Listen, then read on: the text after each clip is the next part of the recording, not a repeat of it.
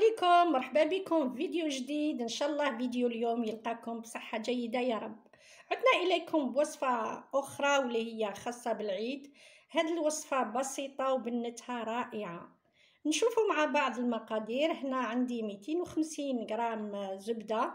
أنا درت لابيل وأنتم أي زبدة عندكم تقدروا ديروها. نبداو مع بعض على بركة الله. بسم الله الرحمن الرحيم. عندي بيضتين. صفار واحد وبيضة كاملة.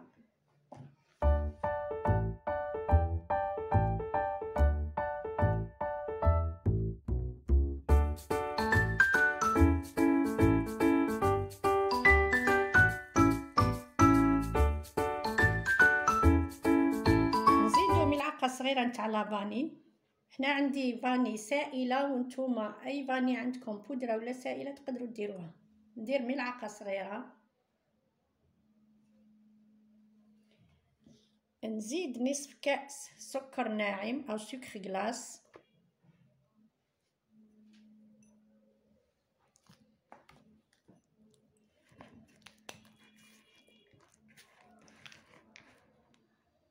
بعد ما درنا الزبدة والبيض آه زدنا زدنا لافاني نزيدو قرصة ملح أو رشة ملح. زدنا نص كاس سكر ناعم اللي هو سكر غلاس. نزيدو أربع ملاعق نشا مايزينا. ونكملو نخلطو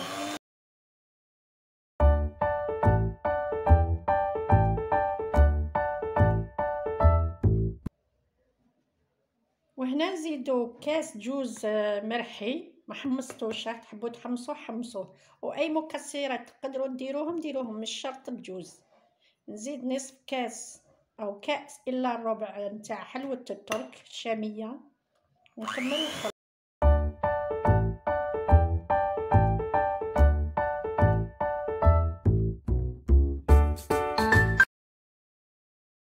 وهنا نستعمل ندير الفارينة نضيف الفارينة اللي هو الدقيق الأبيض. الفارينة على حسب الفارينة اللي تستعملوها. ما نقدرش نعطيكم المقادير أو الكمية اللازمة. أنا ندير الفارينة ونشوف حتى نتحصل على عجين عجينة طرية.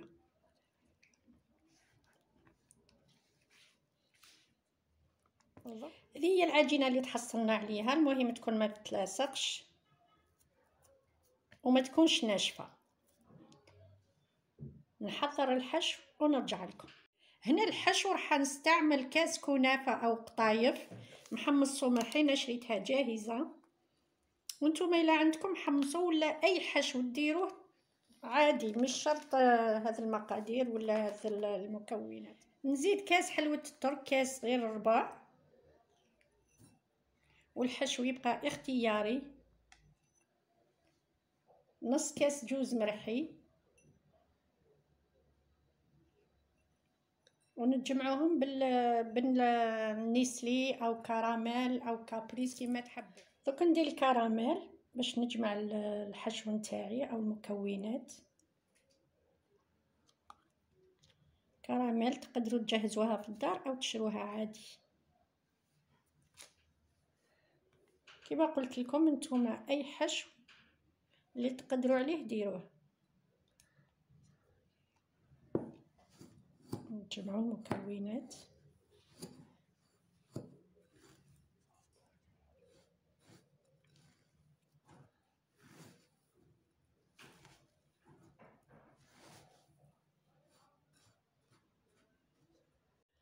الحلوة تاعنا رايحين نديروها على هذا الشكل في هذا المول. هنا عندي العجينة تاعي. وهذا الحشو باش يسهل لنا. العمل. نبداو على بركة الله.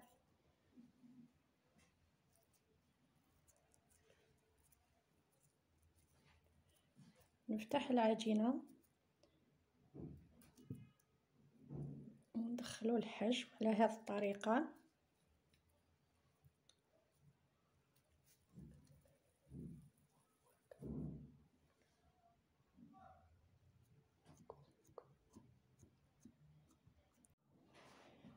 وهنا راني درت العجينة تاعي في ليمول دوك نثقبهم قبل ما ندخلهم في الفوغ راني شعلته 180 درجة.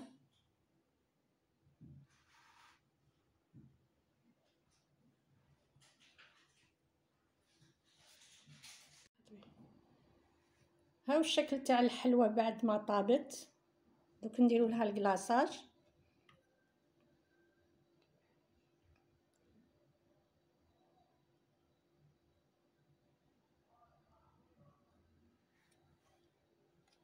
شوفوا الشكل تاعها.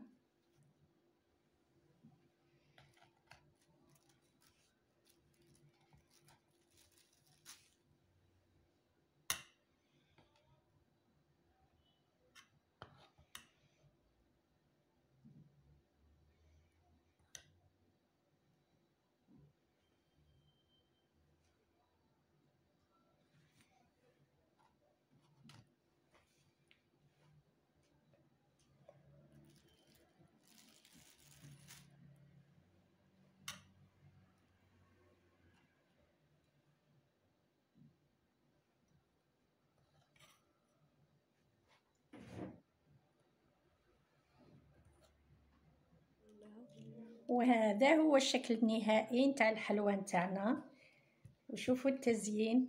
طبعا يبقى اختياري نتوما والتزيين تاعكم.